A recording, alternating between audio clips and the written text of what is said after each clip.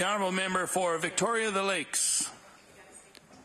Thank you, Mr. Speaker. I rise today to congratulate the Cabot Education Centre senior boys Trailblazers basketball team, who capped off their season by winning the NSF, the NSSAF Division 4 championship for the first time in school history.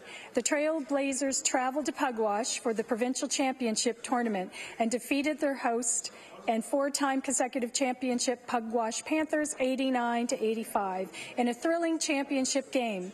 Mr. Speaker, I ask you to join me in congratulating all Trailblazers, all the players, coaches, and their fine performance, and wish them the best of luck in the future. Thank you, Mr. Speaker.